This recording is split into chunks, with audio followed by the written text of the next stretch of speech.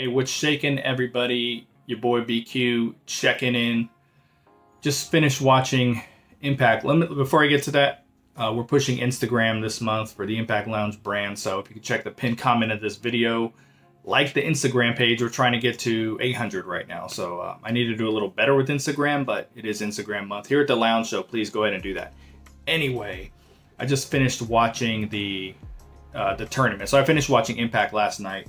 Uh, if you haven't heard from my social media, I'm working 25 days straight, 27 shifts in 25 days. So, um, and then I'll be going on vacation.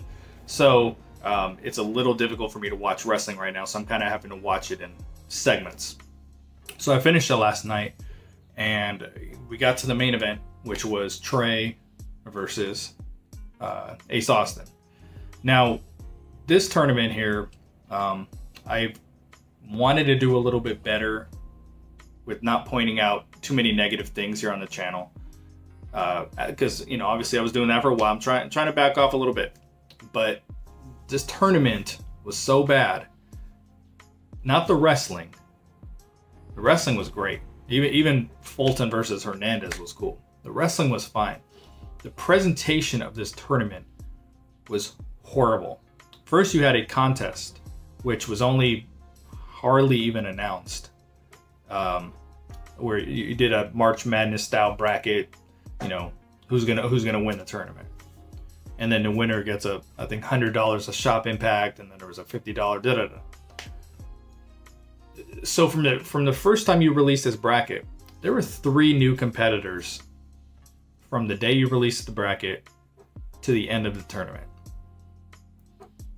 why have a why have a contest? You know, you that's something you have control over. It's it's fake wrestling. It's not you know, it's not a real event where hey, things happen. You know, like March Madness, it's a professional wrestling scripted tournament. Why have a contest if you're going to change the participants in the middle of the tournament, including the winner and the two people in the last in the final match? So overall, I thought it was just pre presented really poorly. I had said that for the tournament, I just wanted him to focus on the tournament and not try to spin off a bunch of storylines from it because then you do that, you start devaluing what the tournament's about. And, you know, I'd already talked about the fact that they didn't really present anybody as really wanting to win and needing to win the tournament. You know, there wasn't video packages with the exception of Rohit and Michael Elgin cutting his promos every week. You know, no one acted like they needed to win the tournament. It just, you know, and had not had um, any NWA and AEW not just had really good tournaments on their end, maybe this wouldn't have stood out to me as like done so poorly. But I was really disappointed with it. Again, the matches were good, the wrestling was good. I had no nothing negative to say about that. But you know, you, you take Moose out of it, and then um, replace him with Rohit Raju. And and the thing was these the the matches were not even. You know, when you do a tournament, it's supposed to potentially pit the best two guys together in the final match, and that's not what this was. You know, so I didn't like the way that it was formatted to begin with. Um, Sami Callihan is like 0 and 3 since changing his gimmick. I think someone said he won on Xplosion or some shit like that. But um, Michael Elgin didn't make it to the finals, which people thought was going to happen. And I, I, would even say I don't know that anyone got over in this tournament. You know, you could say I guess Ace Austin had a good showing. You know, Josh tried to say that him beating Rhino was a uh, an upset. No, it wasn't. it was not. Um, and then you have Trey taken out. So I, I didn't even feel that. I, I, didn't even think Rohit Raju should have lost in the first round. Like he needed that win. And um, uh, what was I gonna get at? Oh, you get, you get Trey and Ace in the finals, and then someone takes out Trey. So the, the problem was they started spit, trying to spin off a bunch of storylines and a bunch of side feuds from this tournament, and, and that's what devalued it, in my opinion. Um, but someone takes out Trey, and we go through this whole tournament, which was all over the place. It was a total mess, and just to get to the final two competitors and Wentz attacks Trey, takes his spot in the tournament. D- didn't beat anybody to get there, and he's the only already a number one contender for the tag team title. So there's no reason for him to uh, to be involved in this. Scott D'Amore comes out. I was like, all right, you guys, let's do this.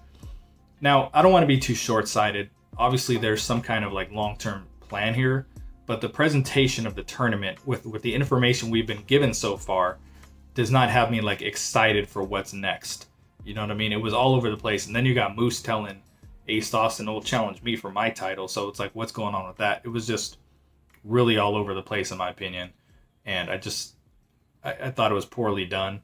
You know, again, the presentation, not the wrestling. And there's probably more to it. I don't think Wentz was the person that attacked him because the announce team wouldn't have kept selling it. Or maybe it was Wentz and then it ends up being Wentz. Like that, that's not the way wrestling works. So I want to know your thoughts in the comments, what you thought about the overall tournament. Um, I don't I don't want to destroy it too much because, as I said, the you know the physical side of it was pretty good, but um, overall, I thought it was just so so poorly presented.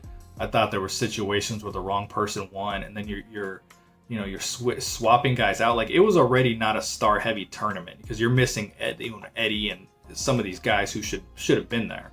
It already wasn't the names were already kind of a stretch, and then you take three of them out. I mean, just let me know what you guys thought in the comments. Um, you know, maybe you liked it, and that that's cool. We all we all enjoy things differently. Maybe maybe you liked it.